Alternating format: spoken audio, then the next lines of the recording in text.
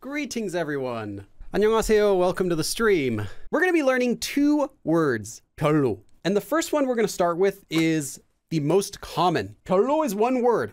And this is an adverb, meaning that it's going to be used add to the verb. So it goes before the verb. So you would say 별로 verb, not verb something 별로. Keep that in mind. Adverbs go before the verb. They add to the verb. This is a negative adverb. That means whenever you use it, you're going to use it with a negative verb. For example, 별로 안 좋아해요.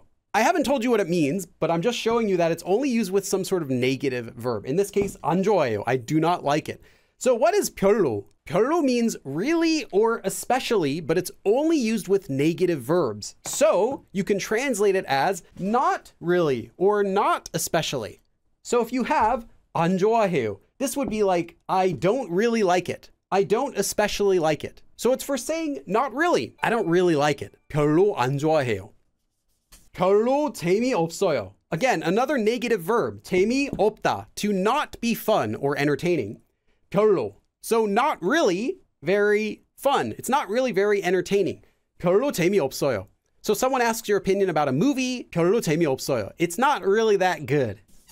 별로 비싸지 않아요. 비싸다 is to be expensive. So 비싸지 않아요. It's not expensive. 별로 비싸지 않아요. It's not really expensive. There's one more thing about 별로, and that is not only is it used with negative verbs, 별로 can also be used with a different verb, and that is just to be. 이다. You know, like 입니다, 예요, 예요, like that. You can also use 별로 with this, so you can say 별로예요, for example. Literally, it is 별로. This is a way to say that something is not really, not really good. So, Karuyo, it's not really that good. It's not really good. It's not especially good. It's just so-so. Meh, Karuyo, it's not that great. That's what it implies. Okay, this is the main form we're gonna be learning today. This form is different. This is kar or karlo. This one is connected after a noun. So when do you use 별 and when do you use 별로? Let's take the word 날짜, which means a date. So you could make either 날짜 별 or 날짜 별로, but they have different uses. This 로, you may have seen it before if you're intermediate level. This 로 indicates that it's being used as an adverb. So anytime you're using this word, which I haven't told you what it means, anytime you're using this as an adverb, meaning it's being used before a verb to describe how that verb is doing something, then you're going to use 별로. Anytime when it's not being used as an adverb, you're going to use 별.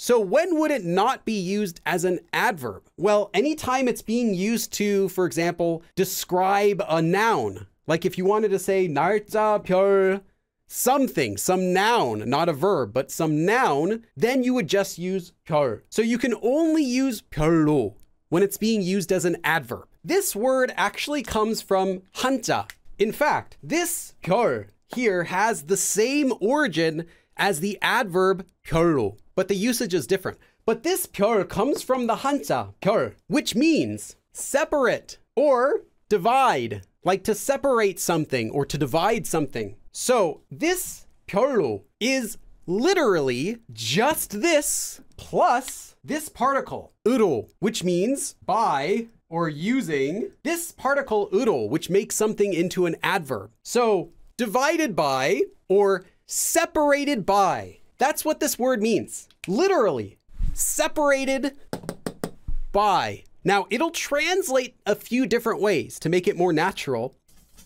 So these are some other ways you might translate it. Separated by or just by, like separated by the date or just by the date, like if you're organizing it by the date. You can organize something depending on the date or according to the date, or you can also organize something for each date. One of these might be more natural when you're translating it. There's another way you can also think about this form. I've done a live stream about this before as well, but 에 따라서. So this is another grammar form in Korean. That means depending on or according to. You can swap it for this in your head and it'll still make sense. So that's just another tip to help you translate it if you're ever getting stuck on the translation. 사진, a photo. 사진을 날짜 별로. So 날짜, a date. 별, separate. So separated by date or just by date. 정리하다 is to organize. So 정리했어요. So I organize the photos by date. Or I organize the photos depending on or according to their dates.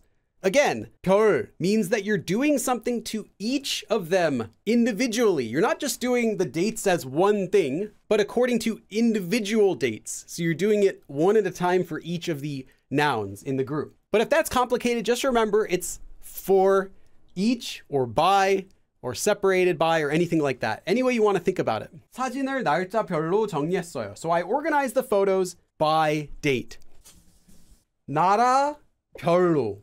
나라 is country. So 별로 separated by country for each country. That sounds a little better for translating. 영어 발음. So English pronunciation 조금씩 a little bit 달라요.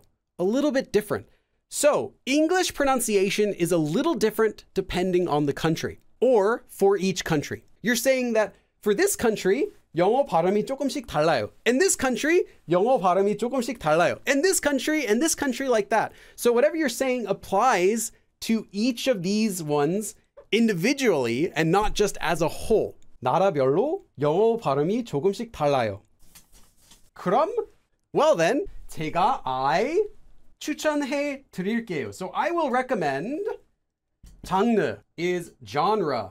장르 별로. For each of the different genres, you're doing this exact same thing that comes after. So, what am I going to do? 노래, a song. 몇 here is a few. 곡 is a song. This is what you use for counting songs. 추천해 드릴게요. So I will recommend a few songs separated by genre.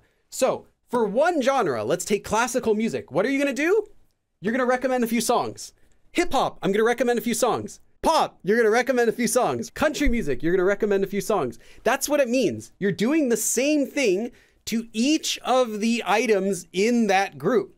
You're not simply recommending a few songs randomly out of every genre. It's for each of the genre. 그럼 제가 장르별로 노래를 몇 곡 추천해 드릴게요. So I'll recommend a few songs for you from each genre. 저는, so I, 요리할 때, so when I cook, 재료 is an ingredient. 별로. So for each ingredient or by ingredients or separated by ingredients or depending on the ingredient or according to the ingredients, any way you want to translate it, 다른, a different 칼, knife, 써요. So I use a different knife depending on the ingredients when I cook. 저는 요리할 때 재료별로 다른 칼을 써요. So, when I cook, I use a different knife depending on the ingredients. 저는 요리할 때 재료별로 다른 칼을 써요. So, I use a different knife depending on the ingredient when I cook. 장난감. 장난감 is a toy. So, 색깔. 색깔 is a color. 색깔 별로. By color. 모아놓다. So, kind of like organizing. So after gathering everything together, because I got everything together, 보기 좋다 literally looks good. It looks nice. So it looks good or it looks nice when I organize all of my toys by their color. 장난감을 색깔별로 모아놓으니 보기 좋네요. So I organized my toys by color and it looks really nice. 나이별, 정상, 혈압, 수치, 나이. Well, 나이 is age. 정상 is normal. 혈압 is blood pressure. 수치 is a number or a figure. 아세요? Do you know? This is one word. 정상 혈압 수치. It's one compound noun. But now we add this. 나이별. By age. So it's not do you know something by age, but do you know, that's it, do you know this noun, the normal blood pressure number by age. So it's not being used as an adverb. You're not knowing something by age. You're simply knowing something. What is it that you know? Well, you know the normal blood pressure number by a person's age. So do you know the normal blood pressure number for each age? 나이별 정상 혈압 수치를 아세요? This is the kind of situation where you're going to see 별 used instead of 별로, is when it's used before another noun to make a compound noun. Flo, you're welcome. Thank you. Let me give you 10 dabs, Flo. Put on some music.